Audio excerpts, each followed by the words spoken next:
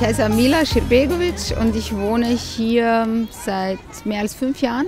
Und wir sind hier im Helmut Silk Park im Sonnenviertel.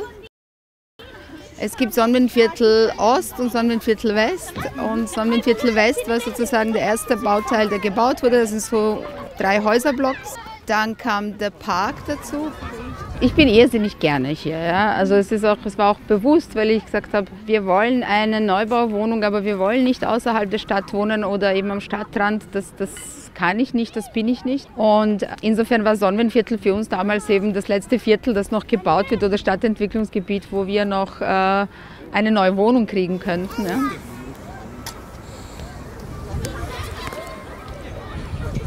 Ich nutze die Stadt eher so, dass ich das versuche mit dem Alten zu verbinden. Deswegen haben wir auch bewusst äh, eine Wohnung uns ausgesucht, die ganz an der Grenze am Sonnenviertel, in der Sonnen Sonnengasse ist, sodass ich das Alte und Neue habe. Also das brauche ich schon. Und der Park, äh, der war so ziemlich eine Brache, als wir hierher kamen. Es gab sehr viel mehr Baustelle. Also jetzt hat man so auf die Art ein bisschen die Baustelle auf der anderen Seite und man kann das aus sicherer Distanz beobachten. Ach, wie lustig, wie schnell das alles geht.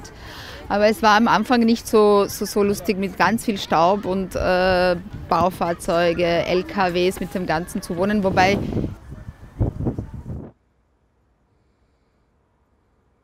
die Häuser sind alle, die Innenhöfe sind ja alle begehbar von allen. Ne? Es ist diese Stadt der kurzen Wege und die sind nicht geschlossen. Ne? Also auch Leute, die nicht in diesen Häusern wohnen, dürfen hier durch, dürfen spielen. Und anfangs haben wir uns schon angewohnt, sozusagen in den mittleren, also es gibt so drei Häuserblocks, in den mittleren, weil der der größte ist, dass die Kinder dort spielen und da kennt man sich so ein bisschen.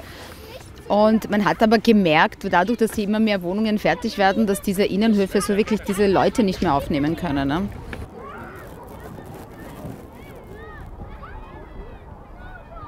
Und dann war es so super, dass der Park eröffnet wurde, weil man da halt viel mehr ähm, Freiraum hat und, und viel, es ist viel halt offener und, und man kann es viel besser nutzen. Ich, ich liebe diese Weite, diese Wiesen, also dass es diese Offenheit gibt, dass man halt selber was machen kann und die Räume ganz unterschiedlich nutzen kann. Ich habe halt gemerkt schon in Gesprächen mit anderen Leuten, naja, aber das ist nicht grün und also es ist nicht grün genug und so weiter. Ja, die Erwartungen sind schon ein bisschen anders.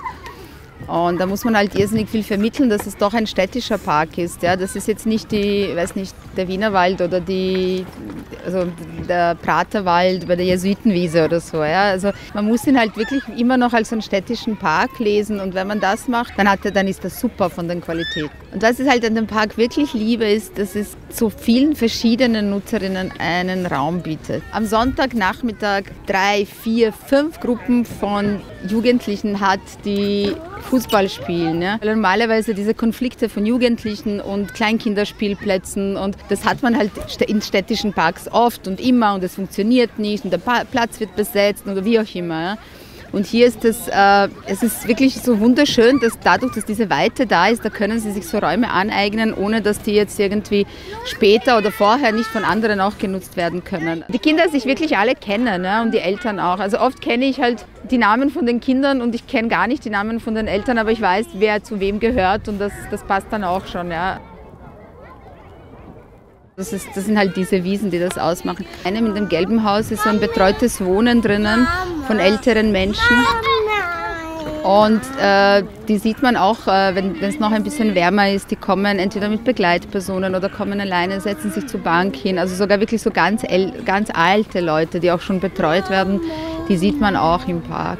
Diese Thematik, die Frauen bleiben viel zu viel zu Hause, es gibt keine Räume für sie, sie also, wie, also dass sie sich halt wohlfühlen. Und ich habe das Gefühl, dieser Park gibt irrsinnig vielen, also man merkt das ja, dass, dass die halt doch genutzt werden, ja, weil man vielleicht nicht gleich beobachtet wird oder wie auch immer. Ja, das, also ich, ich, ich weiß es jetzt nicht ganz genau, aber so was, das, was man halt sieht, ist das irgendwie, wow, so schön. Ja.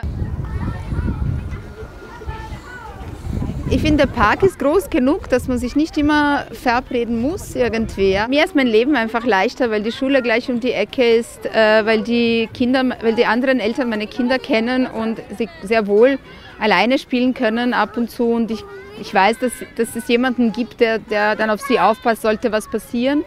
Also das ist eine enorme Erleichterung, äh, auch für mich, weil ich ja selber berufstätig bin, dass das alles einfach so gut funktionieren kann. Und wenn ich mit den Kindern hierher komme, dann ist das eher so, dass ich mir denke, ich gehe geh mit ihnen und schau mal, was passiert. Ja. Ich kann wirklich eine, eine Decke nehmen und selber auf der Decke lesen und muss nicht dabei sein. Ne.